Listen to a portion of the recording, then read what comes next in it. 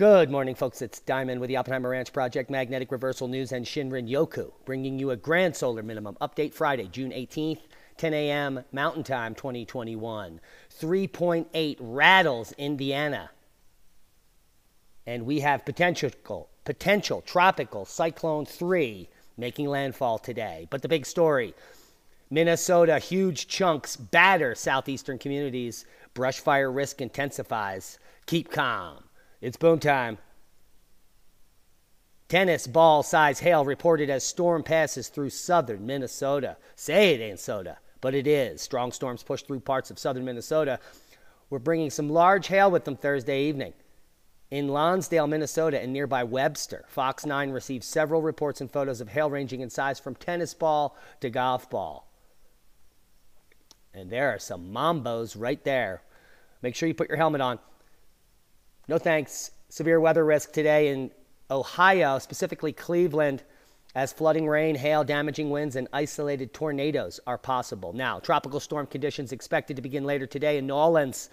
Along the Gulf Coast, tropical storm warnings have been issued, and we'll get to that. And this is all for Tropical Cyclone 3. And there they are, the pop, the potential potential whew, tropical cyclone threat, 7 a.m. And let's just bring it out here. That is the path. It's going to kind of, the center of circulation will hook around New Orleans and head towards Atlanta. So the heaviest rain there is going to be east of New Orleans. Maybe Panama City will get hit. So hunker down. We have three weather areas of concern today. Potential, potential tropical cyclone 3 will gradually approach the northern Gulf Coast with heavy rain and potential flooding. Meanwhile, a sharp cold front will produce severe thunderstorms with significant winds, hail, tornadoes, and possible flooding across the Ohio Valley. So, heads up there. Finally, a large dome of high pressure will continue, and the major heat wave over the west extending into the central plains with fire warnings. So, heads up there. And let's go over to Windy and run through the scenario here with Tropical Cyclone 3. And here we are in about an hour's time from the recording of this. So right now, during the video, the major winds are making landfall in New Orleans right now. And those will be gusting in the 40 mile per hour range. Nothing significant here as far as the winds are concerned. It is going to be the total precipitated moisture that really packs a punch here. This is slow moving. Here we are midday Saturday. It's still hitting Mobile, Alabama, New Orleans, just moving inland midday Saturday. And so it looks like by Saturday evening, there's the heaviest rain and winds, Montgomery, Alabama. And this baby's going to slowly make its way towards Atlanta. It's not going to get there till Saturday night, Sunday morning.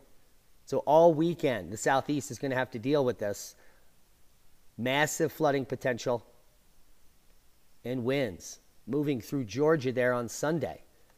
Not so much a fun day. Now, let's jump over to the shocking numbers behind Lake Mead drought. And I know this has been all over the news for weeks. We've reported on it. The lake is down 143 feet in 26 years. But if you do a little research, the shocking numbers aren't shocking at all. And they're claiming that climate change is causing all this. But even without climate change here in the blue, we would have a problem because they have been taking more water out of the river than the river could provide. So it has nothing to do with climate. It has to do with greedy humans sucking the Colorado River dry and subsequently Lake Mead. John Fleck, the director of Water Resources Program at the University of New Mexico, told the truth. He then added, but climate change has made it much worse.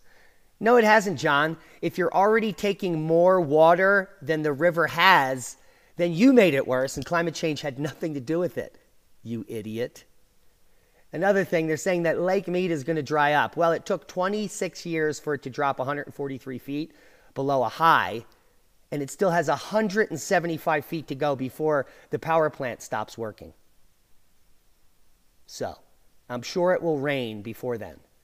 And if we all come together and we start, start, start taking less water than the river could provide, well, then it will recover. Isn't that simple? Has nothing to do with climate change. Now, over to the quake over in James Crouch's neighborhood. Go check out James Crouch's B live stream. M3.8 Bloomingdale, Indiana. That's a rarity. It shook houses and rattled nerves. Worldwide volcano news update. Etna, Fuego, Karymsky, Reventador, Sangay, Nevados de Chillán, Sabancaya, Suwanosejima, and others, all puffing and passing to normal levels. But over here at Iceland, we're looking at the harmonic tremor since June 2nd through the 12th, and you could see that this volcano and this eruption is not going anywhere soon. In fact, there has been an uptick since the 10th of June in harmonic tremor on Iceland at the Fagradalsfjall eruption.